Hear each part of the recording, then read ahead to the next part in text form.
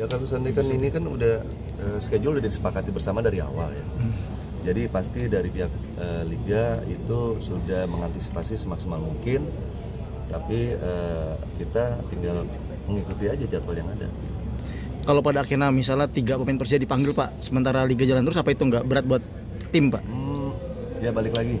Eh, euforia nasional tim kita kan lagi bagus, ya kan. Jadi kita harus support lah. gitu. Nanti situasinya kayak apa, tinggal kita nanti menyesuaikan. Pak Persija setelah empat laga tanpa menang, akhir kemarin bisa menang lagi dua. Alhamdulillah. Alhamdulillah. Alhamdulillah. Berarti pena aman-aman aja. Hah? Ya kan masih belum lah, masih kita lihat aja terus. Biar dia deg-degan. Artinya lawan Arema nanti akan jadi evaluasi juga begitu ya? Ya tentunya ya, sampai kan sampai putaran pertama ini selesai. Nanti kita lihat evaluasinya. Pak sampai putaran pertama ini kira-kira butuh berapa eh, kemenangan sih Pak sampai memastikan PN itu aman gitu Pak? Ya maunya sih kita menang lah ya. Paling enggak eh, setiap laga home tuh kita harus menang. Hmm. Pak belakangan juga Persija susah main di Jakarta baik di JIS, di GBK segala macam. Tanggapan dari Persija gimana Pak? Kemarin terakhir main di Bantul lawan Ah, Persib. bahkan sampai mental ke Bantul Pak. Ah, ya. Balik lagi itu yang sedang eh, kami berkoordinasi terus.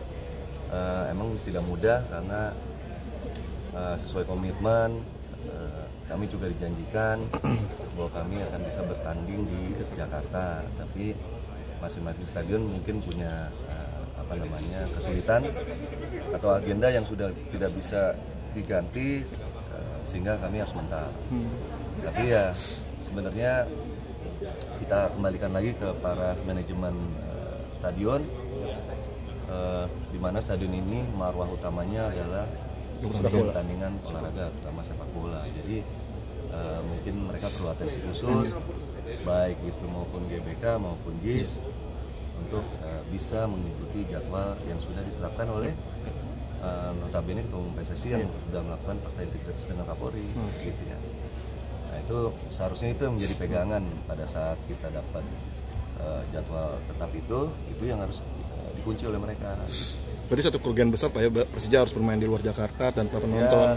tentunya eh, kami berharap tidak keluar dari Jakarta. Hmm. Tapi balik lagi, semua kendali karena kita masih di rumah kontrakan, jadi kita terpaksa ngikutin yang punya rumah lah. Sudah dekat 6 November. November lawan Madura dengan 15 Desember November ada Jepang lawan Indonesia tuh gimana Pak? Ya kita berharap masih bisa bermain di GBK atau di JIS lah ya. Eh, surat sudah kami kirim, eh, mungkin mudah-mudahan satu dua hari ini kita dapat respon. Sedangkan JIS sudah eh, pasca konser, ini sedang melakukan pembenahan. Eh, GBK juga persiapan menuju eh, timnas lawan Jepang, menjamu Jepang di sini tanggal 15. Seharusnya itu eh, tidak masalah seharusnya ya. Tapi balik lagi bahwa kami hanya sebagai eh, penyewa jadi kita berharap eh, masing-masing manajemen eh, stadion paham eh, atas permintaan kami Pak, eh, Rizky diminta board sama beberapa pemain keturunan di timnas Indonesia. Tanggapan Bapak sebagai presiden